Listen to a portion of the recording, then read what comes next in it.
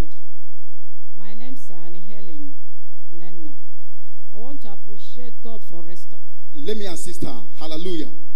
She said that prior to the crusade, the senior pastor's uh, crusade, she said that um, she was trusting God for the healing of her mother. She said she trusted God that the crusade will not pass without her mother being healed. Hallelujah. But in the course of the crusade, nothing happened. Even after the crusade, nothing still happened. She said that at the time she was left so depressed, she lost joy to continue with God. Hallelujah. She said the depression continued not until last Sunday. Last Sunday. She said last Sunday she was here in the church. Then a word dropped from our pastor in the house. That word dropped and the word dissolved the depression. She said the Lord has restored her joy, the Christian joy, and to couple it, the mommy's health is now coming up. It's now appreciating. Put your hands together to for Jesus. Congratulations, congratulations. My name is Mrs. Mary Obi Wenita. I come to thank God for the life in the life of the living. And again, to thank God for what He did in my life since I was born. I haven't seen it. In this month, it's a favor month to me.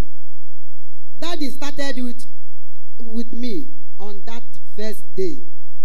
And since then, I have, God has been favoring me. Favoring me left and right. Left and right. Even She said since this month, daddy started the beginning of this month, daddy in the house offered her a gift. She said the gift ushered in other Is tremendous it offer or gifts. her a gift? okay, gave her a gift, and the gift ushered many other tremendous gifts. Even things she never expected. She said she has never seen this kind of moon before since her life. She has come to return all the glory to God. Again, she's also appreciating God for, for embarking on a trip to Anambra and she's back safely. To God be the glory. Congratulations, Mama. Congratulations. what I was looking for since four years ago, God gave it to me yesterday. I come to thank God. Hallelujah. Congratulations. Congratulations. Praise God. I think this is a prophecy for somebody here. What you have been looking for for long has just been released unto you today. Has just been released unto you today. Has just been released unto you today. By this testimony has just been released unto you today. In the name of Jesus. You shall share your own testimony also in the name of Jesus. Put your wonderful hands together for Jesus. Church, praise the Lord. My name is Brochika Agu. I want to appreciate God first and foremost for his help over my life and family. God has been faithful for us in all this season. I say, may his name be praised in Jesus' name. And secondly, I want to appreciate God for wonderful deliverance he granted to me on Friday. On Friday, normally I always say, whenever I'm on evangelism, I always tell people I can't be stranded. That has been my word. And I never knew heaven was taking record of it. On Friday, I saw the proof of that statement. On Friday, I got to work, loaded something going to Nsukka. I never knew there was fuel scarcity, that all filling stations were to close that day. So I took off from where I normally stay at Timber, then on my way to Nsukka.